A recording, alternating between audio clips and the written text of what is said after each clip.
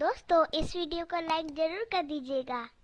और इस चैनल को सब्सक्राइब भी कर दीजिएगा।